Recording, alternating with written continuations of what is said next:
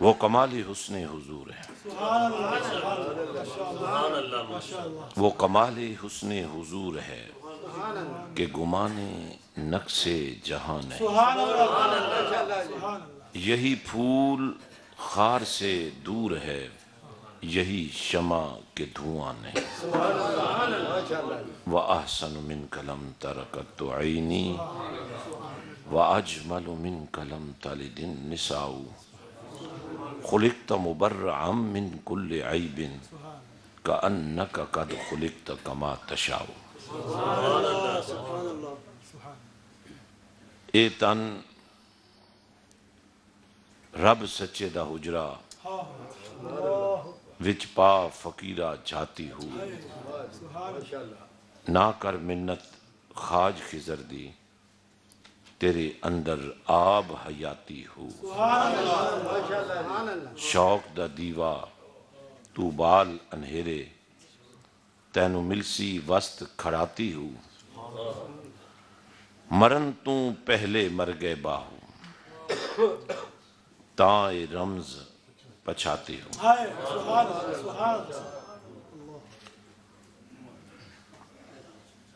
अब ये अल्लाह की पसंद है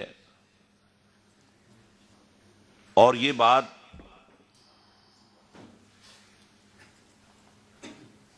हमारे ईमान की जान है कि अल्लाह ही सारी कुदरतों का मालिक है। और अल्लाह ही सारी शानों का मालिक है। सारे इख्तियारात अल्लाह के पास हैं। ताकत का सरचश्मा अल्लाह की ज़ात है। कुदरत अल्लाह की इख्तियार अल्लाह का, हुकूमत अल्लाह की, निज़ाम अल्लाह का। पसंद अल्लाह की। इस्लाम अल्लाह का। इन दीन इन दिल इस्लाम।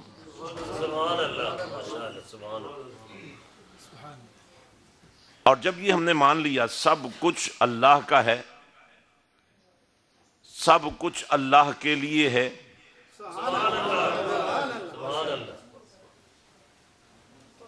अब जो अल्लाह चाहे, वो करे। जब चाहे, जिसको चाहे, जितना चाहे, जिस तरह चाहे अता करे। ये कानून है। ये कायदा है।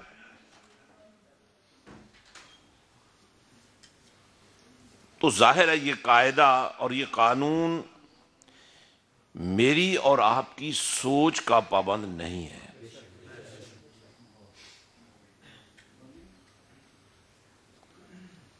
जैसे मैं समझ लूँ, जैसे मैं सोच लूँ, जैसे मैं कह दूँ, वैसे ही हो जाए। नहीं, ऐसा नहीं है।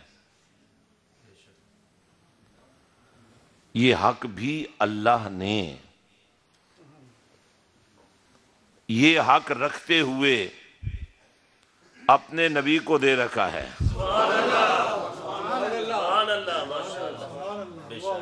हमने ये माना कि सब कुछ अल्लाह का है। सब कुछ अल्लाह के लिए है। और जब अल्लाह ने ये पसंद कर लिया मेरे लिए वही है जो मेरे हबीब के लिए है। तो अब किसी को दखल देने की गुंजाइश नहीं बनती। किसी को मदाखलत की इजाज़त नहीं है। बात बड़ी सीधी सीधी है। आलमीन को पालने वाले ने आलमीन के पालने का निज़ाम, आलमीन के लिए रहमत मुस्तफ़ा की सूरत में जलवगर किया है।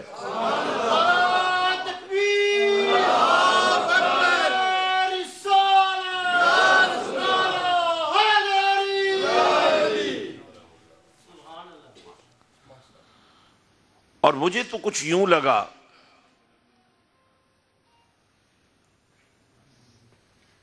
अल्लाह ने जब आलमीन को पालने की बात की ना तो कुछ लोगों ने ये सोचा शायद आलमीन बड़ी चीज़ है, शायद ये अल्लाह का तारुफ है। नहीं, बड़ा तो अल्लाह ही है ना। लेकिन आलमीन को अल्लाह ने अपने तारुफ से बढ़ाई देते हुए उन्हीं आलमीन को जब नाम मुस्तफ़ा किया तो बात की समझ आ गई।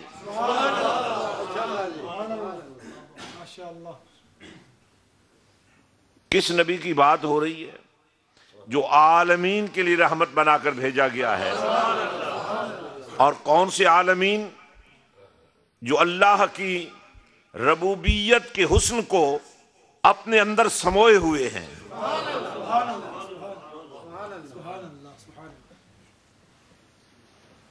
हजरात गिरामी,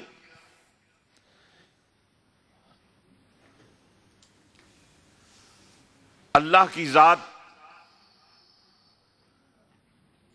एक ऐसी गैब ज़ात है जिसको मानना भी ज़रूरी है। और इंसान की फितरत में यह बात रखी गई है कि जब तक जान न ले ये मानता नहीं है।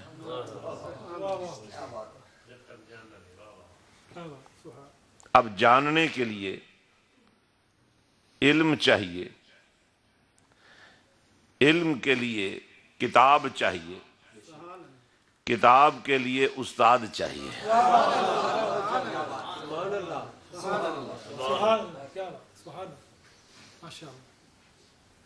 और फिर उस्ताद बनने के लिए भी उस्ताद चाहिए।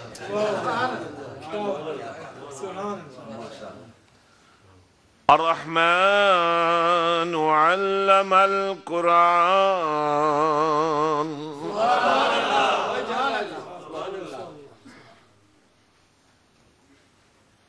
वैसे तो उसकी रहमानियत भी बज़ाहिर नज़र यही आती है, जो भी उसका नाम ले ले और बिस्मिल्लाह कह दे, बिस्मिल्लाह से आगाज़ कर दे तो पाएगा वो उसे जिसका नाम ले रहा है अर रहमान अर रहीम लेकिन यहाँ जब मैंने देखा उसकी मेहरबानियों का साया मुस्तफ़ा करीम सल्लल्लाहु अलैहि वसल्लम पर इस तरह जलवा फिकन हुआ।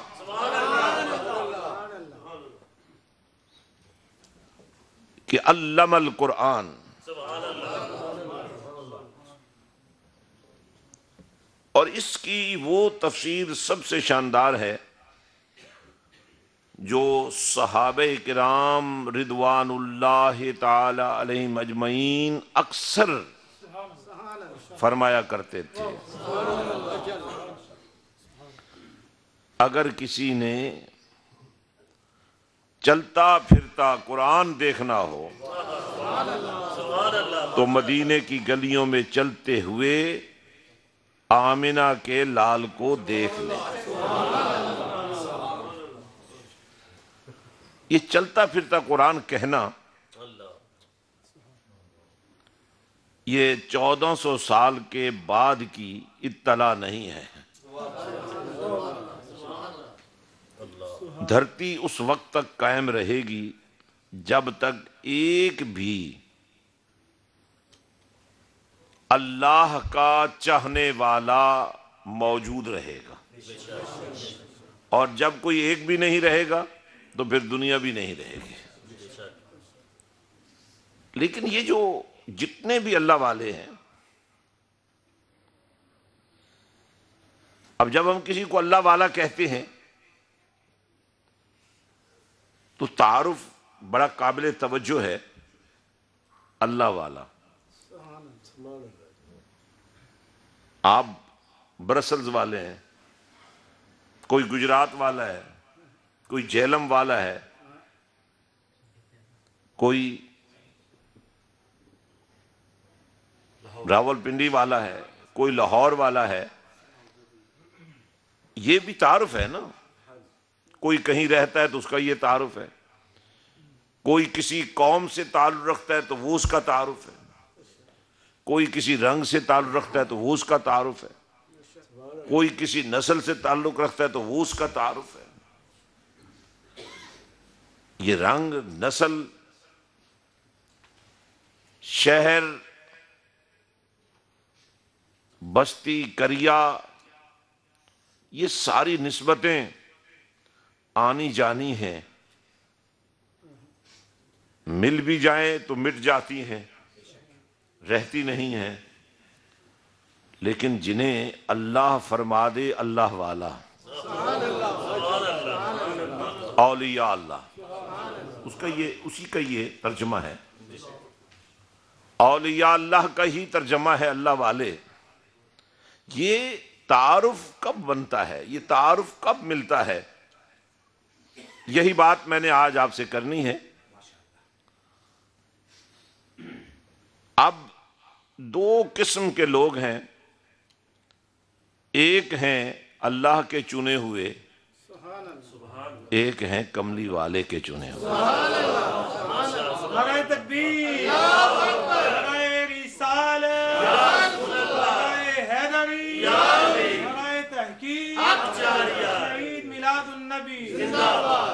हमारे आज की इस बज्म को हमारे हाजी शराफत साहब ने और क्यादत जनाब सईद हसनात शाह सब फरमा रहे हैं और इस वक्त ओलमा कराम की एक बेलौस और कसीर तादाद यहाँ जलवागर है और आप सब शम रिसालत के परवाने भी मौजूद हैं। मैं इसे अपनी सादत समझता हूँ, अपनी इज़्ज़त समझता हूँ और अपनी कामयाबी समझता हूँ और अपने लिए निजात का ज़रिया समझता हूँ। कि मुझे और आपको कमली वाले ने अपने ज़िक्र के लिए आज कबूल फरमाया।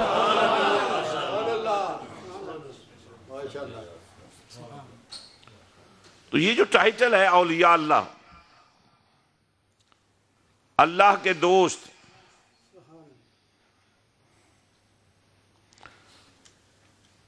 इसका मैार क्या है? कोई भी दावा कर सकता है।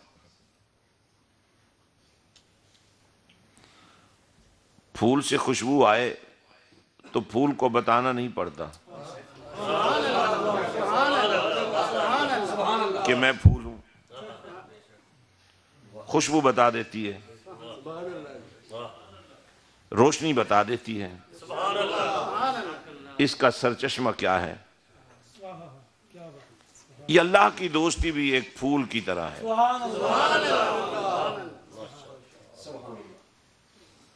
और ये खुदा की जो दोस्ती है,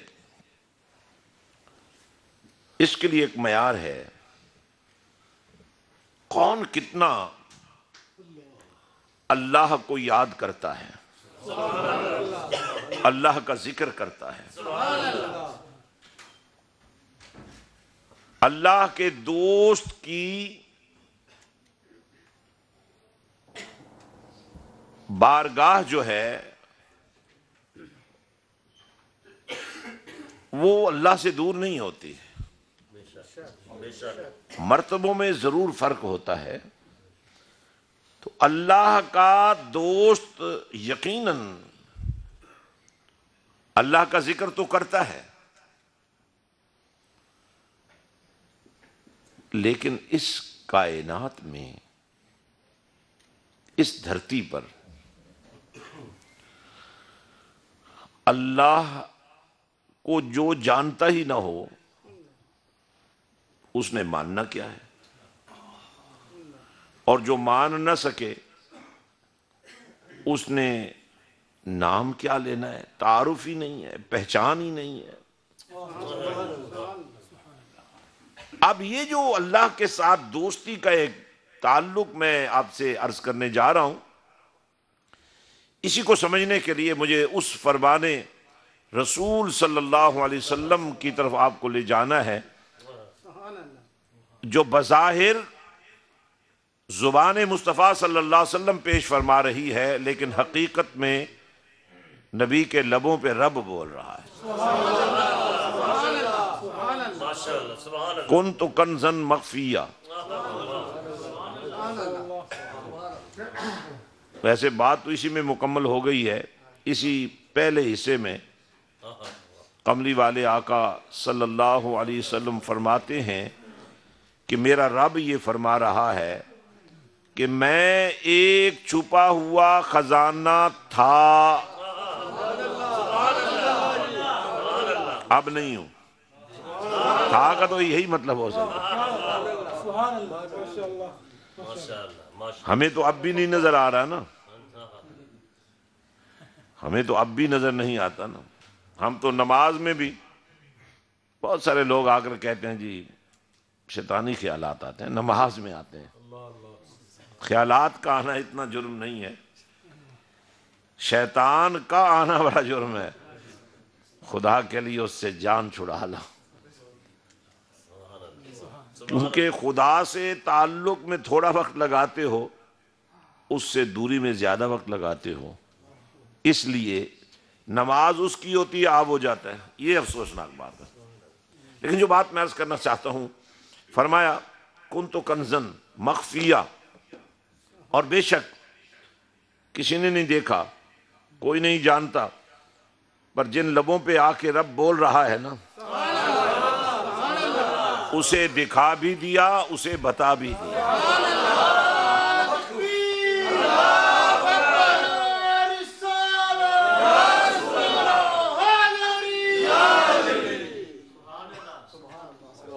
कुन तो कंजन मखफिया?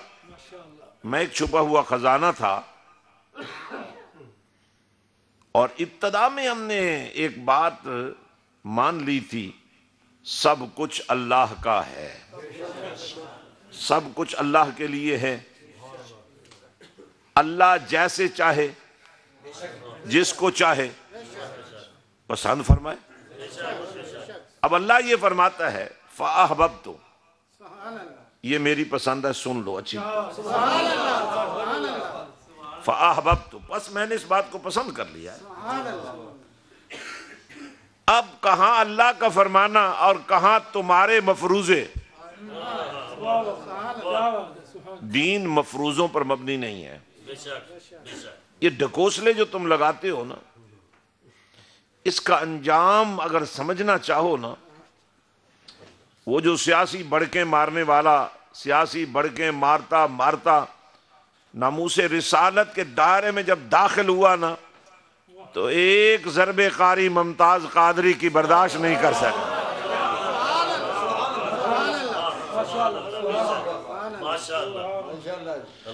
उसने समझा, जैसे वो खसीस और खबीस हैं, उनके पास कोई जवाब नहीं उसने ये समझा था, शायद कलमा पढ़ने वाली माएँ बांझ हो गई हैं। अब कोई गाजी, अब कोई शहीद पैदा नहीं हो सकता। लेकिन ये उसकी गलत फहमी थी।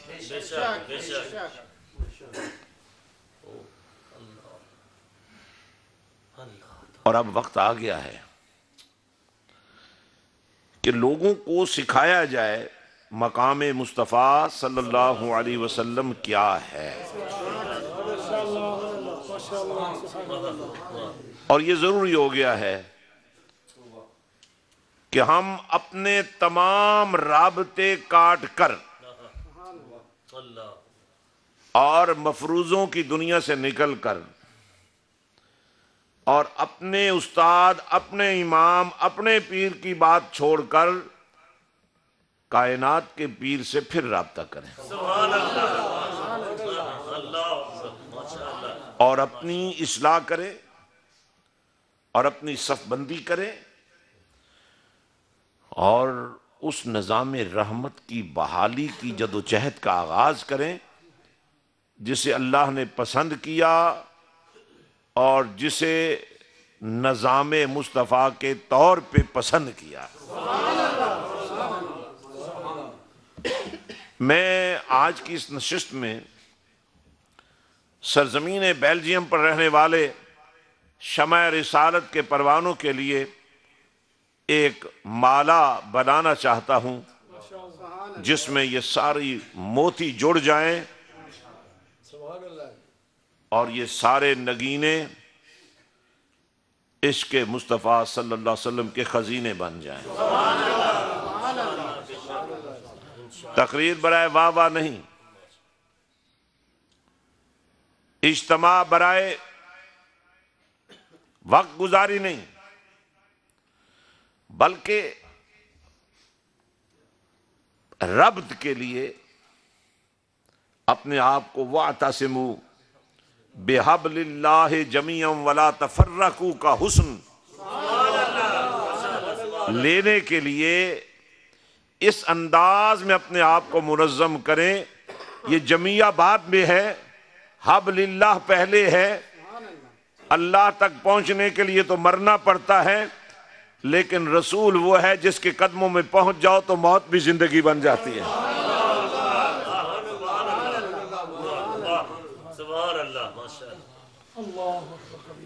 और मैं आप सबको मुबारकबाद देता हूँ।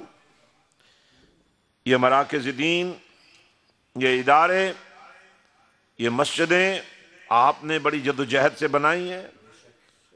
एक एक फिलस इकट्ठा किया आपने, दिन रात मेहनत की है। इनको मस्जिद नबवी शरीफ की तर्ज देने की ज़रूरत है। इस मुसल्ले पर बैठने वाला एक ही वक्त में उस्ताद भी हो, इमाम भी हो, पेशवा भी हो, और यही मुसल्ला हुजरा भी हो, यही मुसल्ला यूनिवर्सिटी भी हो। अगर कुछ खराज हमें देना पड़ जाए, कुछ तब्दीली हमें अपने ऊपर लानी पड़ जाए तो एक कुर्बानी देने से हज़ारों कुर्बानियों से अगर बच सकते हैं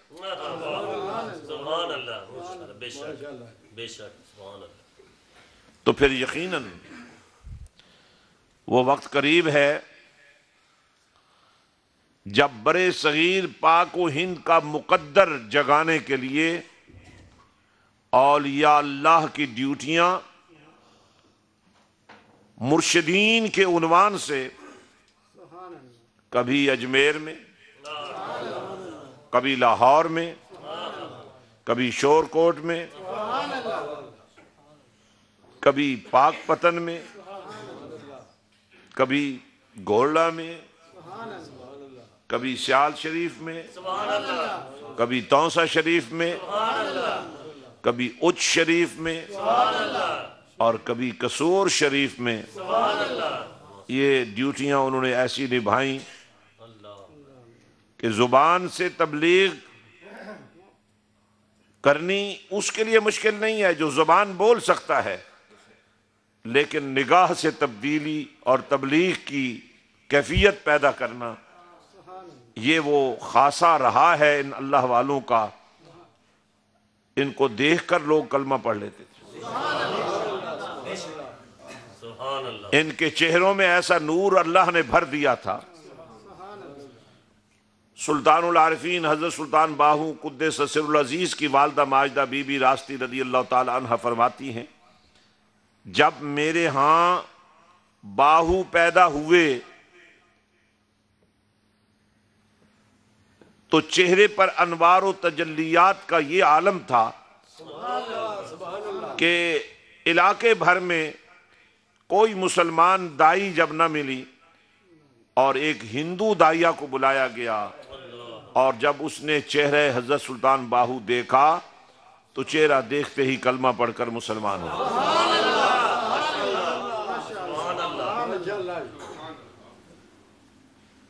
हज़रत गिरामी,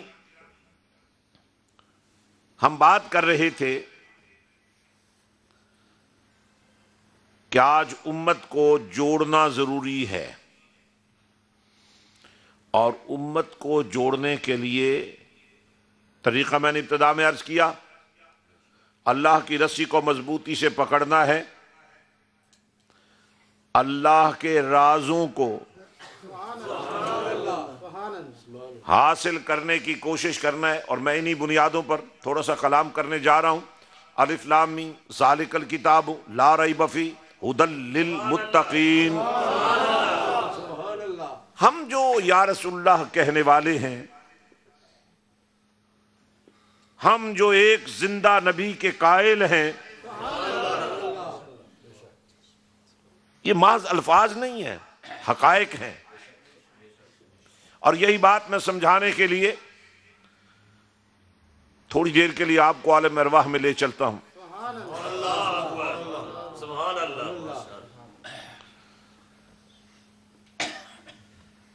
और जिस बात की लोगों को आज समझ नहीं आ रही बहुत एक हकीकत है। रूह का जिस्म से जुदा होना एक हकीकत है। लेकिन मैं आपको उस हकीकत में ले जाना चाहता हूँ, जहाँ अभी रूह और जिस्म का मिलाप ही नहीं हुआ। जिसे हम मौत कहते हैं, वो रूह और जिस्म का जुदा होना है ना। मैं तो आपको रूह और जिस्म के मिलाप से पहले की दुनिया में ले जा रहा हूँ। वाइजा खजल्लामीसा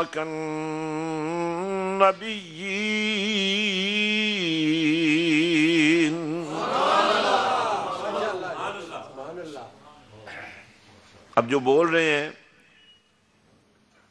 उनको ही बोलने का फ़ायदा होगा, जो नहीं बोल रहे, उनको कोई नहीं देगा कि आप नहीं बोले तो चलो थोड़ा सा हम बोल, हम, हमारा बोला हुआ आप ले। हर बंदे ने अपने लिए बोलना है भाई। और बात हम बात से मुँह की कर रहे हैं तो फिर मिल के भी बोलना पड़ेगा। पता नहीं किसकी बोली अल्लाह को पसंद आ जाए, साथ वाले का काम भी बन जाए। आलम अरवा में चलते हैं।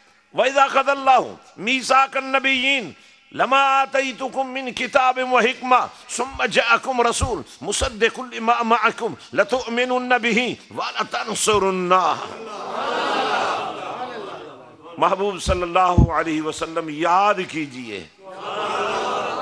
यारो, इसी एक याद कराने से ही सारे राजों से पर्दा उठ जाता याद कीजिए जब हमने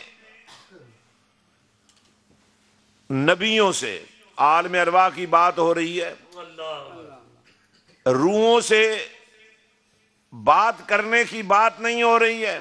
है आलम अरवा, अभी रूहें जिस्मों में नहीं आई, लेकिन अल्लाह उन्हें रूहे कह के नहीं पुकार रहा, उन्हें नबी कह के पुकार रहा है।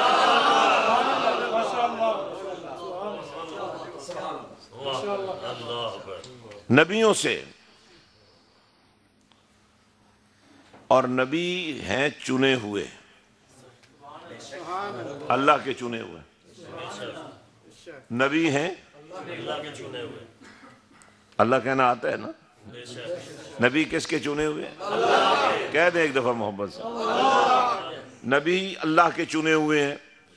अब उन्हीं से जिनको अल्लाह ने चुना है। और जब अल्लाह चुनता है ना तो वो ये तरीका नहीं होता कि ये अच्छा है इसको चुन लो। ये बुरा है इसको रहने दो। जिन्हें अल्लाह चुनता है उन्हें अच्छा ही बनाता है। उनमें कोई कमी नहीं रहती। क्योंकि हमने पहले ही मान लिया था अल्लाह जो चाहे जिसे चाहे। अब अल्लाह ने चुना जिन्हें चुना उनमें कोई खामी नहीं रखी। उनमें कोई कमी नहीं छोड़ी उनमें कोई कमज़ोरी नहीं आई। उन्हें शानों वाला बनाकर भेजा। कहा अगर मुर्दा भी आ जाए ना ठोकर लगा देना ज़िंदगी मिल जाएगी। अब यकीन करें ये हर जो जुमला मैं बोल रहा हूँ ये अपनी जगह पर एक मौजू है। लेकिन मैं आज आपको कहीं और ले जाना चाहता हूँ।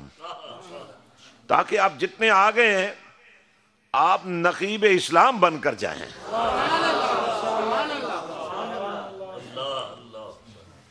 अपने अपने घर को कमली वाले के प्यार का घर बना दें। इस वजूद पर बड़ा जुल्म किया हमने। इस वजूद को हमने अपने नफ्स की ख्वाहिशात का गुलाम बनाए रखा। आज अगर आप ये फैसला कर लें कि नफ्स की गुलामी नहीं, कमली वाले मुस्तफ़ा की गुलामी करेंगे तो बात बन जाएगी।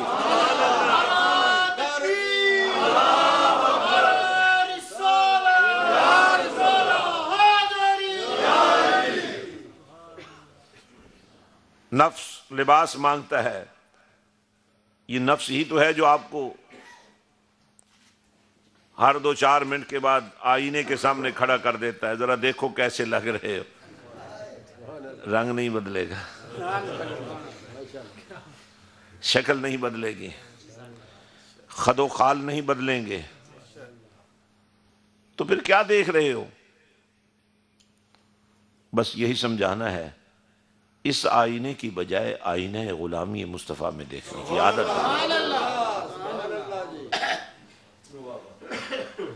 आईना गुलामी मुस्तफ़ा में देखोगे तो फिर तुम्हें पूछना नहीं पड़ेगा कि तुम्हारा चेहरा कैसा होना चाहिए। फिर तुम्हें पूछना नहीं पड़ेगा कि तुम्हारी निगाहों को झुकने का अंदाज क्या होना चाहिए। फिर तुम्हें नहीं पूछना पड़ेगा कि तुम्हारे लब हिले तो क्या बोले।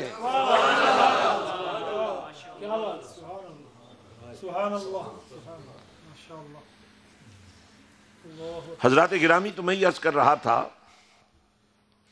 कि अल्लाह ने चुना, उन्हें नबी ठहराया। कुछ को मनसब रिसालत भी दिया, जिनको नबी बनाया, जिनको रसूल बनाया, उनकी गर्दे पा के बराबर भी कोई नहीं बन सकता।